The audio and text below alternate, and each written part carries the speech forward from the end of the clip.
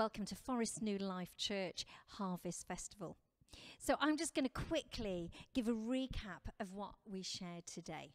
As you can see, our fantastic harvest display, and we have just enjoyed celebrating together. So, why do we have a harvest festival? Well, for me, it's a time where we draw together with the local community and give thanks to God for the harvest that the farmers have been able to gather and for the produce that we've been able to grow. And it's a time for us to reflect on what is it that I'm going to give thanks to God for today. So, where we live, we live out in the countryside, and we have a farmer next door to us, Farmer Dave, and he ploughs the fields. He goes out early in the morning and he's there ploughing the fields and he's scattering the seeds and then he's gathering the crops.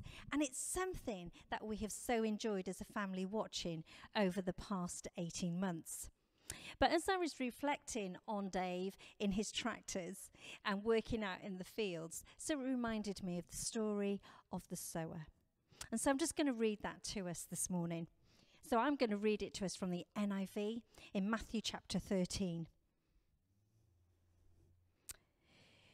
That same day, Jesus went out of the house and sat by the lake.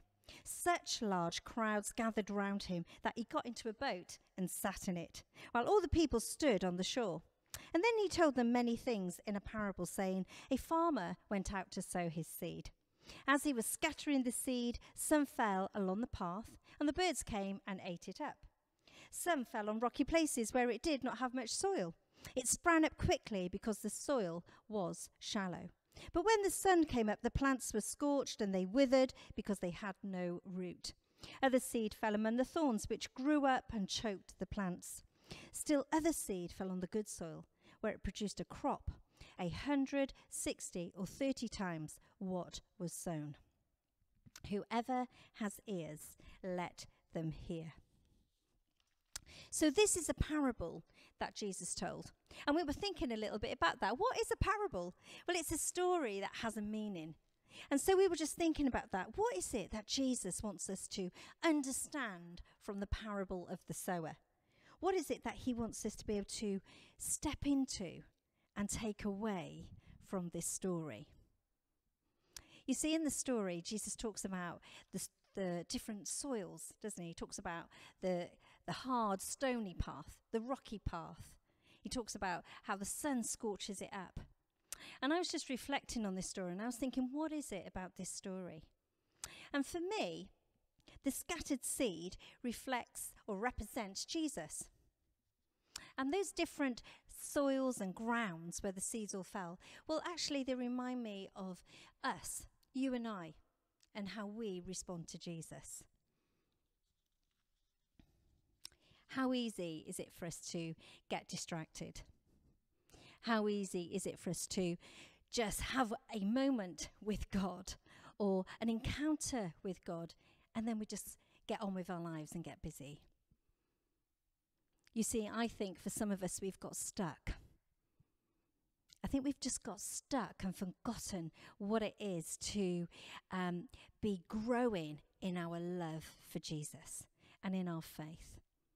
And you know, see, Jesus, he says in this story, he says, you know, if you have ears, now listen. And really, what he's saying is, you know, we need to take a moment to just think, just to pause and ask ourselves that question Where am I today?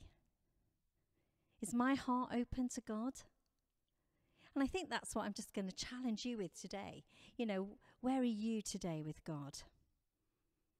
You see, Jesus said he came that we would have life and live life to the full. But if we're stuck, then we're not living life to the full.